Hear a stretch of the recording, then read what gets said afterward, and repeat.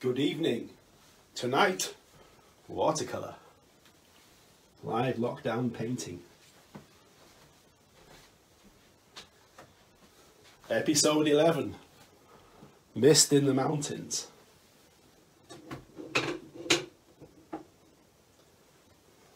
Somewhat different setup this evening due to the nature of the medium and the free flowing qualities of the paint. I have to work at varied angles, but uh, I shall make a start. Now, this will be the uh, standard elevation, I think you can see that, but I will from time to time move things around. For example, I'm going to begin at a more shallow angle. And I can move the uh, the watercolour paper around as we go. Now the reason for this shallow angle, and that is rather steeper than normal, is the uh, gravitational pull on the watercolour medium. So I'm going to begin with a wash. I've got some raw sienna. Look at the nature of the paint. Hope you can see that. Very fluid. When we say watercolour, we mean it. Lots of water. Especially as I'm starting with a very light tone. I just need to break the ice of this.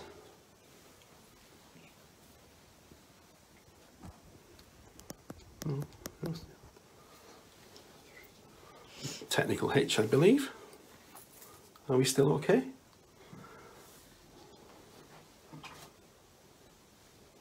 Best to get these out of the way at the start. I can actually check on the screen. You see that drip? Lovely stuff.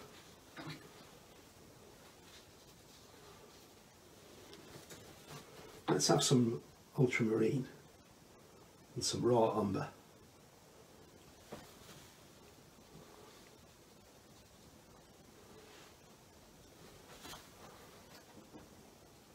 I'll hold this up so you can see.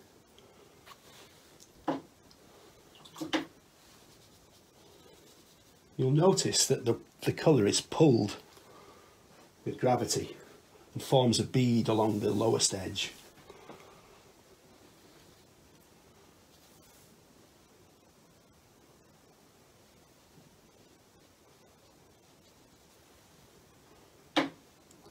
And that's all to the good because I can pick that up at any time and it won't dry into the paper. Hope you can see delicate washes intermingling. Get this ultramarine to dissolve into the raw sienna.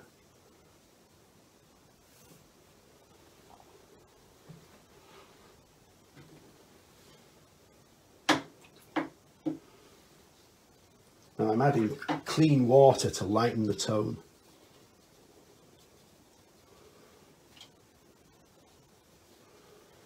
Once I've done this, it should settle in.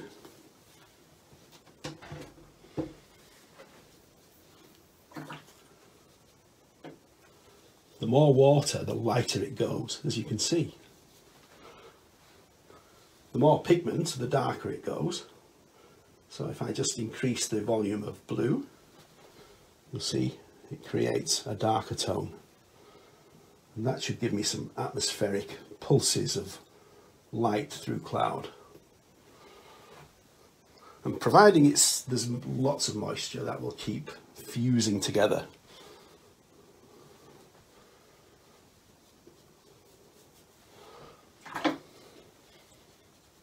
Technically this is called the preliminary wash but that's a bit of a tongue twister so it's often shortened to the ghost wash.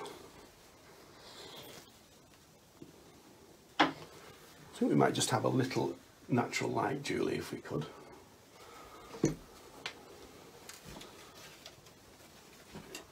Thank you.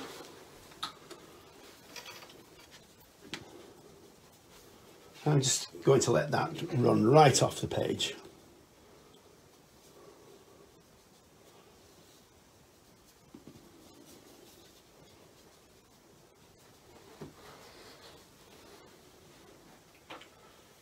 Let's now elevate that. It's safe to do so. I hope you can see more clearly now what's afoot. Those lovely tones. All of this is now moist.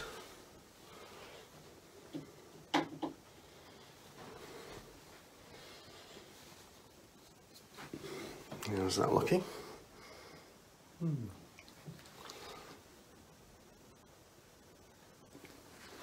Adjusting the light.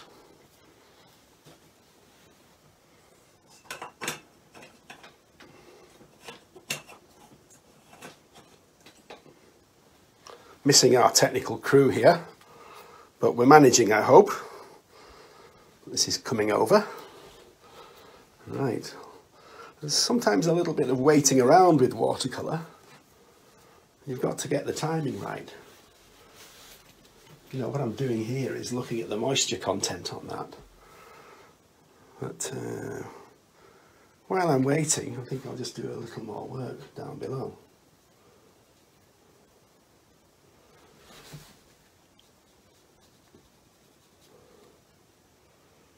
Sepia, sorry, not raw umber. with ultramarine.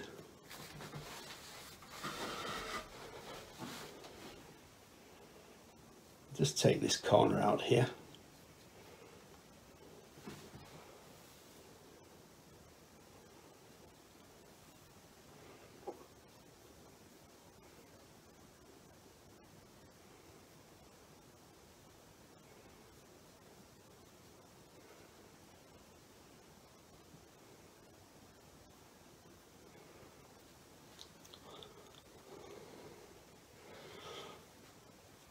All the time. I'm conscious of what's happening on the other side of the page.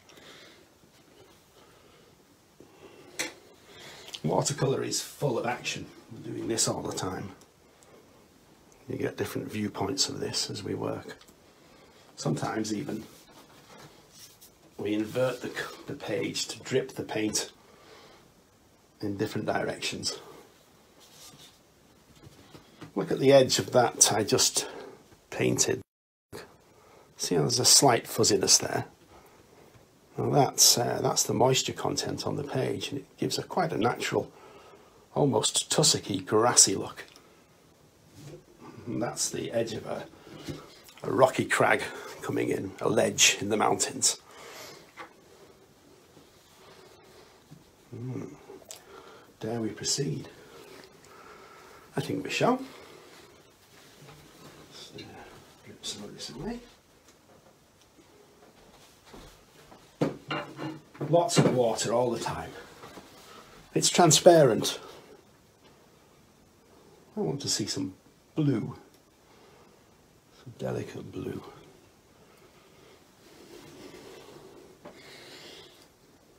Let's have a look.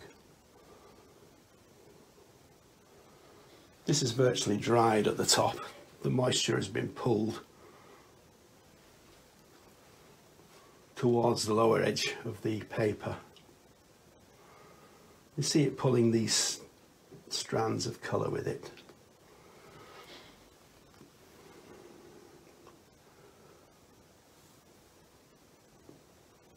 Look at that wet edge there. It's ready to drip. Dangerous territory.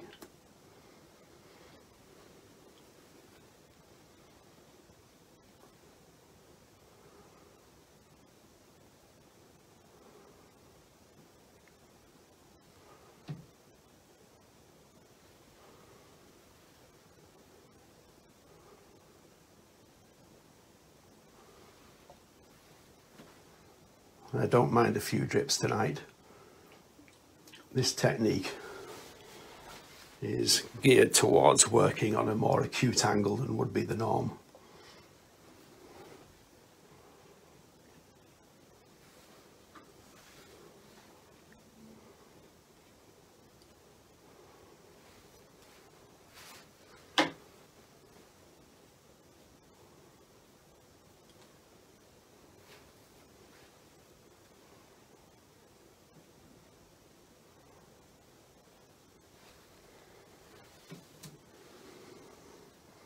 with what I have to hand.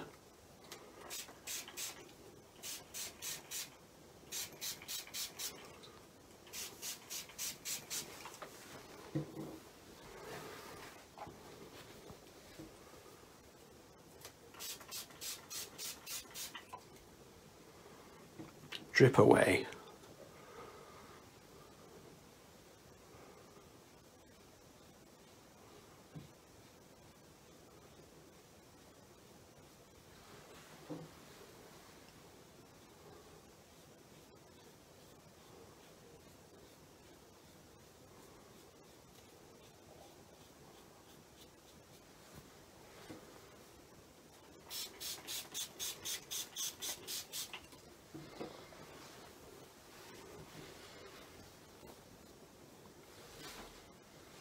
Constantly looking at the sheen on the paper.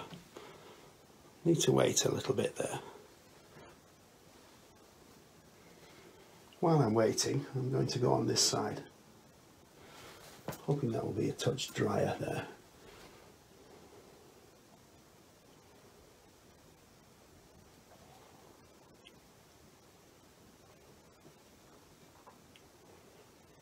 Mainly ultramarine with a little bit of sepia.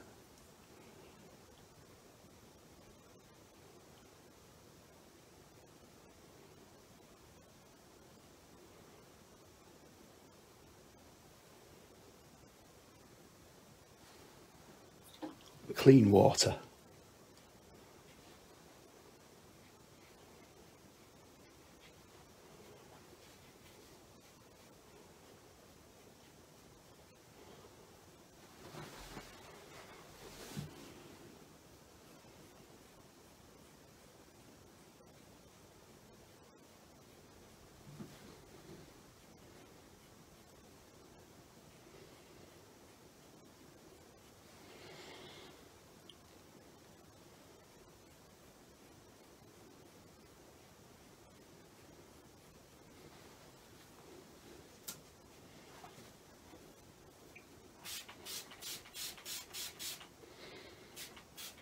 Spraying out the lower edge there.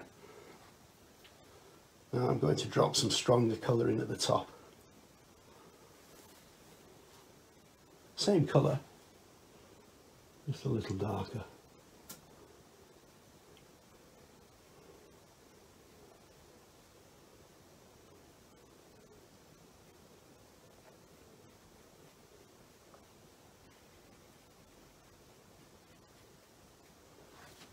Look at these cauliflowers. It's where the water has dripped over my dark wash. I'll put that back shortly. You have to have eyes in the back of your head.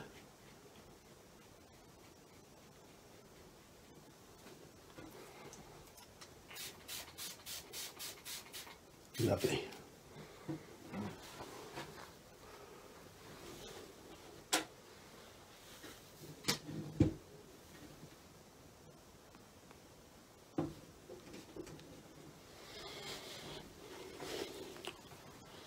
This is a quite a vertical subject up in the high mountains.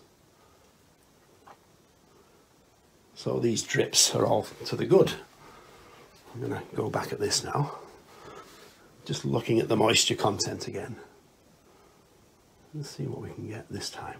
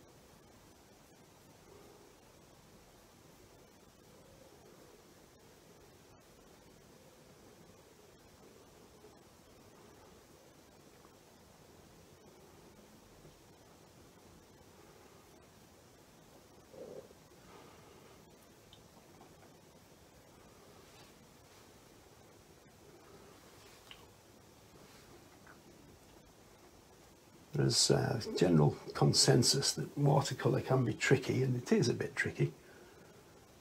It's difficult, more difficult to demonstrate than say oil painting, I think, because you have to have your constantly looking at the uh, performance of the wash and judging the timing. But uh, if you don't have the pressure of explaining what you're doing and you can just get into the flow of things, bit of experience, it's great fun and very evocative. Trying to achieve soft focus shapes of looming mountains.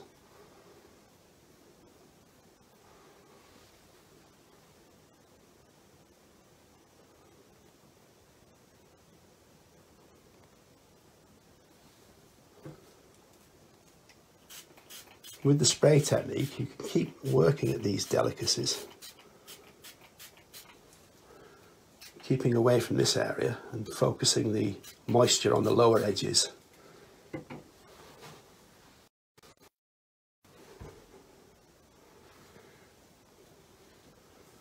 think we'll have a little passage of cloud or water here.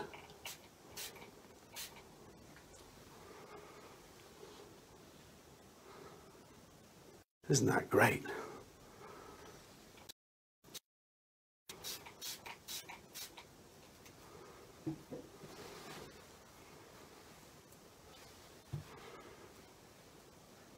Time to go a little richer and stronger.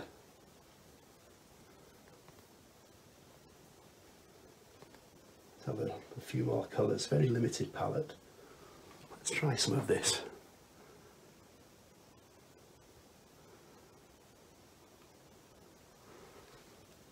I've got the hairdryer to hand. I prefer not to use it. I'd much rather go for a cup of tea and allow things to dry. But now and again it just needs a helping hand if you're trying to work at pace and certainly to demonstrate. So the hairdryer may come into play.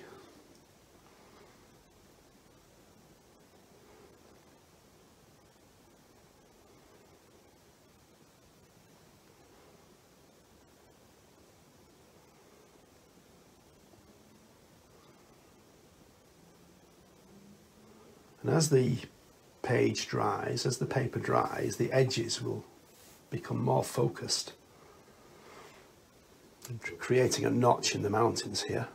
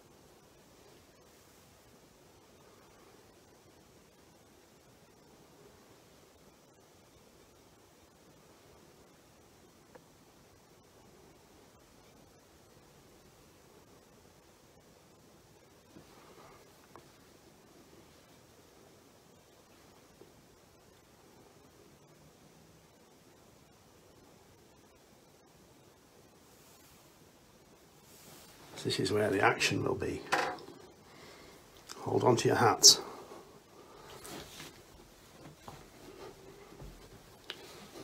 Working around the camera.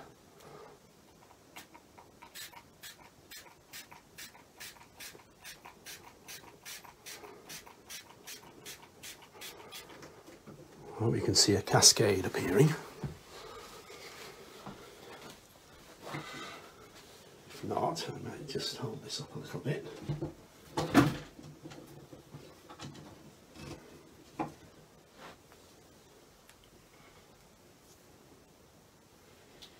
You notice on the paper there's a very slight cockling, a slight buckling. I've stretched the paper so it minim that minimises the amount of water that's in play. We can expect a little bit of that. But if you get thicker paper, that's greatly reduced. But I will say, ideally, you would work on watercolour paper. This is about 140 pound. It's not uh, not as thick as I might use, but uh, I went to check the stores and they are somewhat depleted of the heavy stuff. So I've stretched this paper up. Just watching that dry.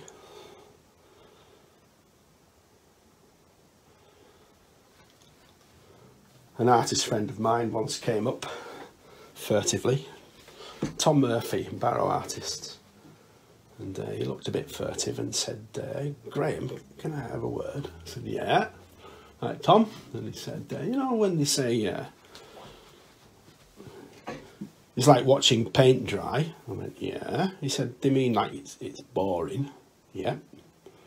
And he said, he sort of looked over his shoulder and then turned and said, I quite like watching paint dry, like a confession. And I went, do you? And he, his eyes went side to side and he said, yeah. And I said, so do I. And he brightened up when I said that. Oh, it's fantastic, isn't it? And then we were all swapping notes about watching paint dry. it's because of watercolour. That's what you're doing, constantly watching the paint dry. So that, that uh, it's a, a curious term to watercolourists, watching paint dry, because it's all they ever do. And that's drying fairly fast under these lights and thin paper. Right, so time to progress. Let's see if we can pull a little bit of uh, firmness into some of these shapes. Hmm, let's have a look. I think we'll have a, a rising pinnacle of rock here. Still a little bit damp. When it's just right, you might be able to create some trees that are soft focused. That's a touch too green. Let's try this.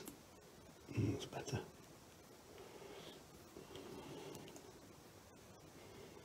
Let's see if we can create some vegetation.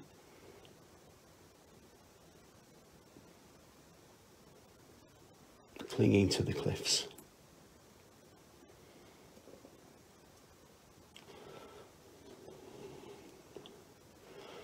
I always think of Borrowdale with this sort of stuff.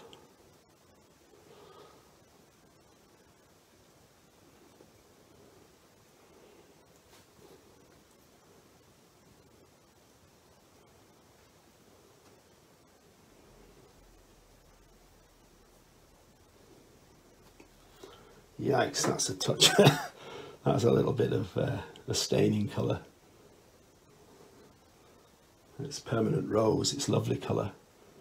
It just stained in a bit there. now that's better. I've tempered it with some blue. I'm trying to create a plunging cliff here.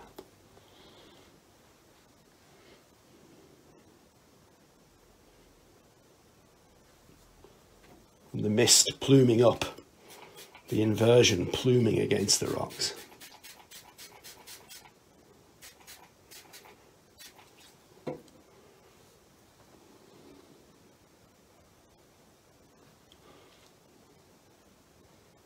It's actually fairly fast paced, all this, but uh, it might take longer than the oil demonstrations. I don't propose to go on too long. Because you're constantly just waiting around for a few seconds for things to dry. But I'll put the hairdryer on for the final stage. Now up here, that's probably drying out. I don't want it bone dry, a little bit of moisture is good. Yes, there's some moisture in there. I'll put some fir trees in here.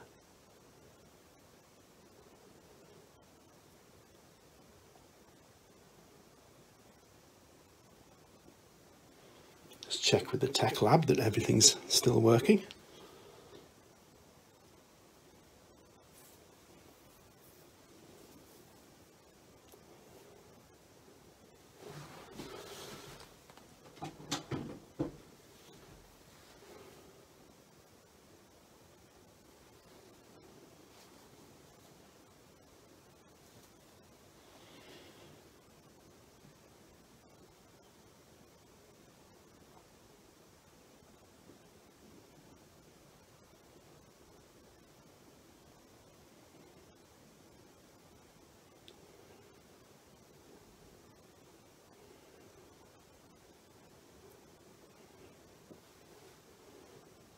See, the essence of it is to learn to work with the paint. With oils, you whatever you paint is what you get. The brush strokes hold firm and the description you put in remains. But with watercolour, the, you're trying to exploit the medium and while it's in this damp condition, you get these transient edges. Very beautiful. When you want it to be crisp, you just let it dry out. So when it's in this condition, you can't control it, you have to work with it.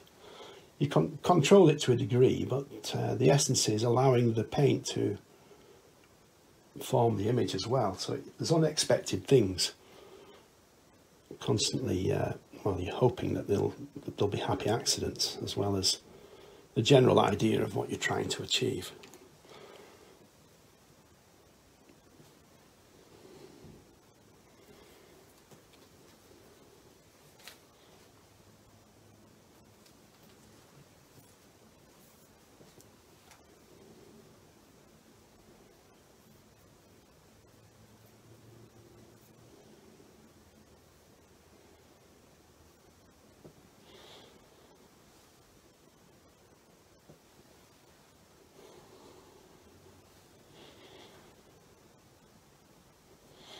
This is drying out really well. It just looks like a, a plume of mist rising out of a deep crevice in the mountains.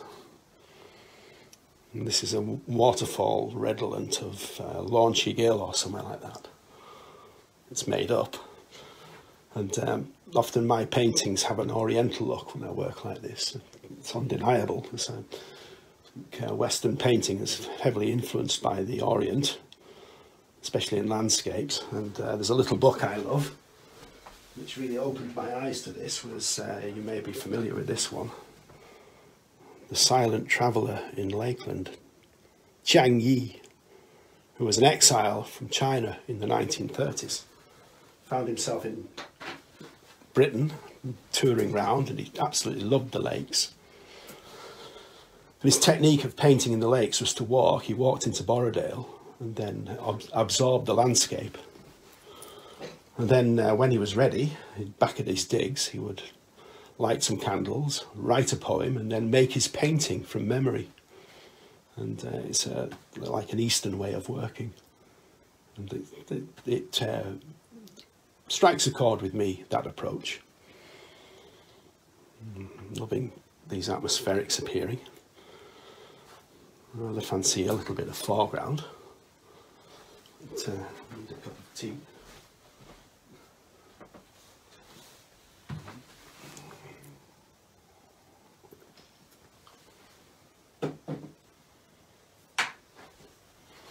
Just uh, hold this up again.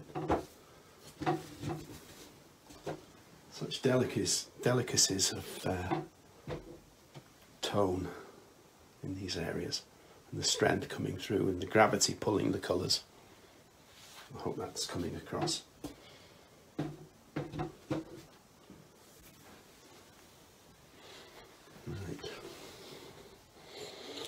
My uh, errant cauliflowers there, the, dread of watercolourists. I wasn't bothered at all in this corner it's going to be fairly dark. But, uh, let me just pull in a little bit of context here. 10 more minutes, quarter of an hour, should wrap this up. I'd like to go back to this when it's thoroughly dry and maybe make some definition in the, the mountains rising into cloud.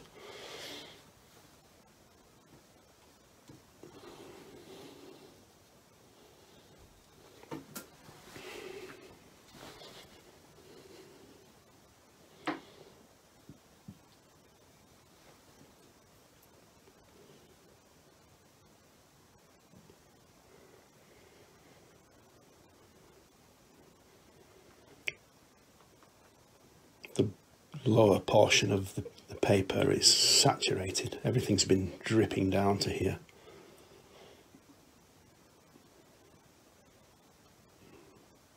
I'd like to get some soft focus pine trees descending into the ravine.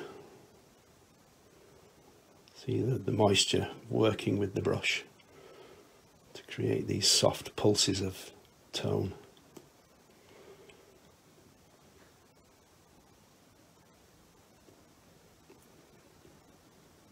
There's the tops of some coniferous trees. We'll take this entire left corner out with this.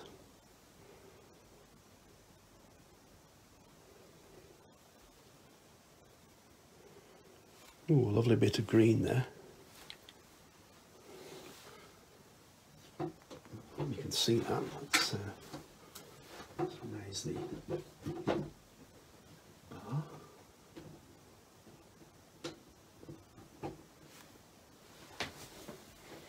It's a better angle.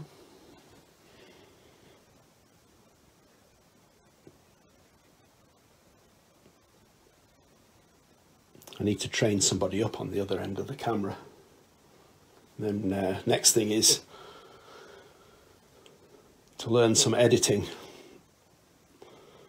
Because the lockdown will eventually finish, and so will my little Wednesday evening sessions. Very sad to draw a line under them. Next week, today is the 11th, next week will be the 12th. That is an academic term but uh, I shall be doing more, but maybe not uh, on a weekly basis, and I'll start to post videos that maybe have some editing as well as the live action. As those dry, you can add layer upon layer, but I quite like how that's dropping down into the valley.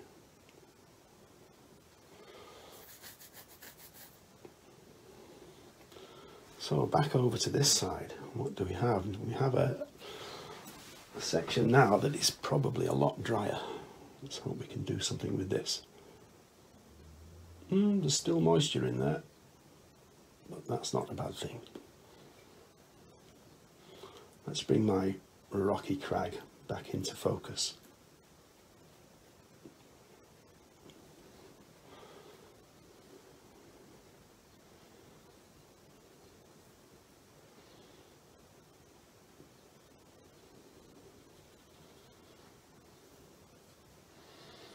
So the, the technique to learn is that the, uh, the more paint and the less moisture in the brush, the darker the tone.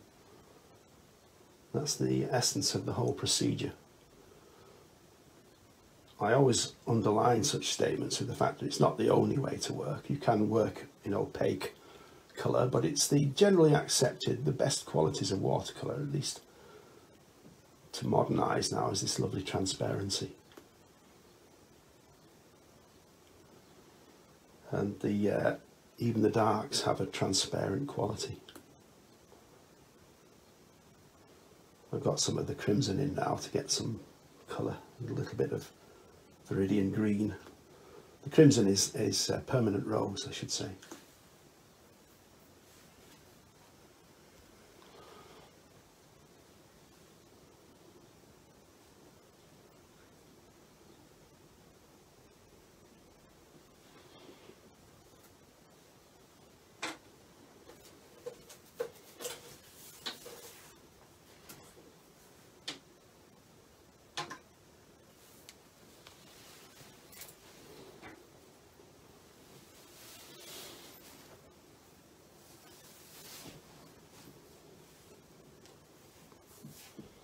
You'll notice something appearing, I hope, now.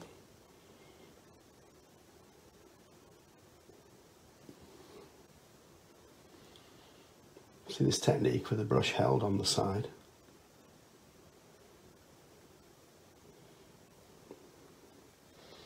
Look in the centre of this, uh, this block of colour.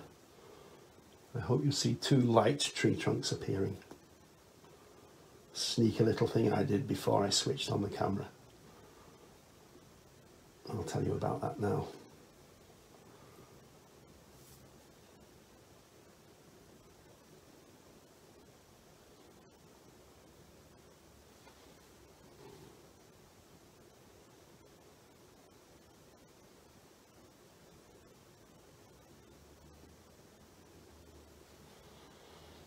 I used a little bit of masking fluid, which I tend to use very sparingly. But the masking fluid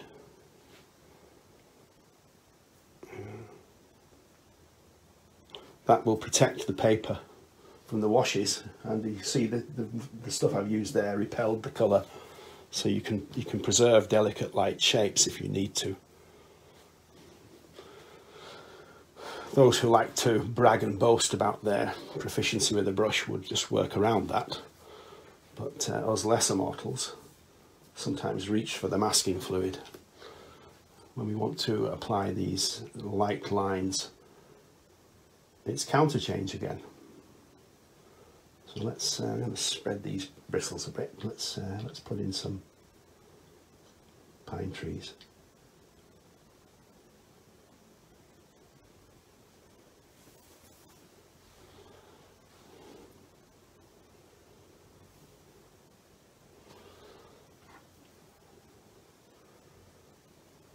Got a very dark mix here. This is the uh, crimson and the green, which is almost a black.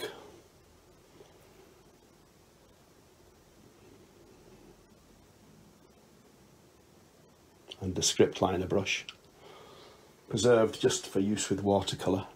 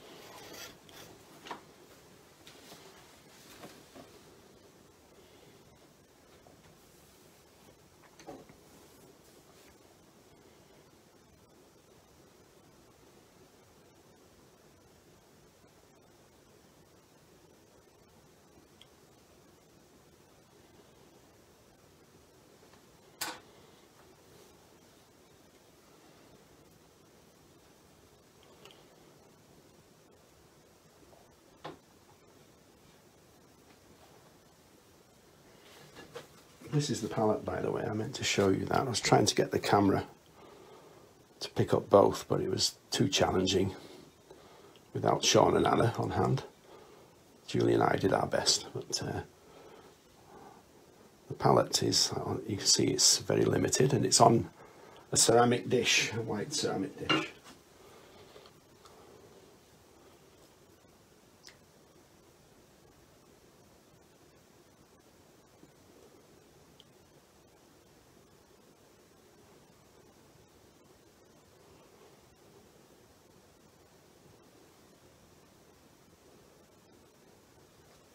It does look a bit Huang Shan. I'd love to visit the Far East. I've never been yet, but uh, I'd certainly love to go and see these places. Guilin, Tibet. This is my lovely Lake District with an oriental twist.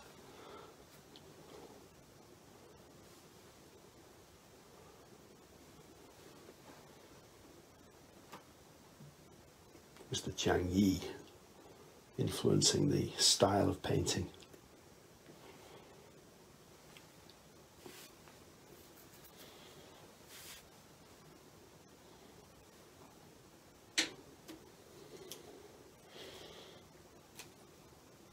Have to be brave. I'd like to dissolve some of these. Let them drip and cascade into the valley, keeping them a bit clearer at the top.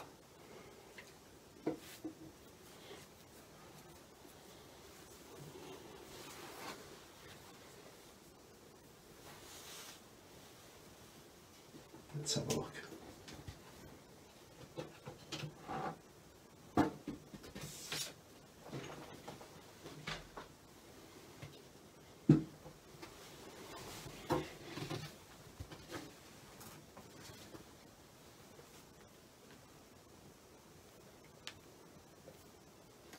Live lockdown watercolour. Hope you can see that. Great fun to do.